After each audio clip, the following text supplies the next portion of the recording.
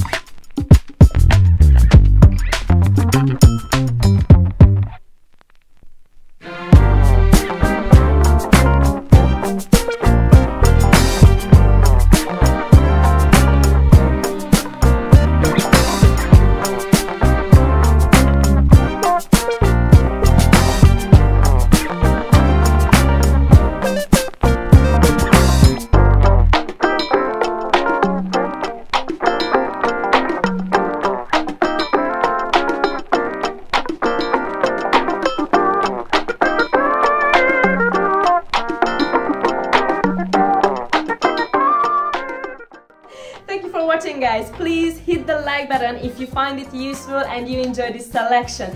As I mentioned, just feel free to ask me and just leave me any feedback in the comment section please and I will get back to you. Don't forget to subscribe for the next week's workout and check out my other videos as well. I will see you in the next one. Bye!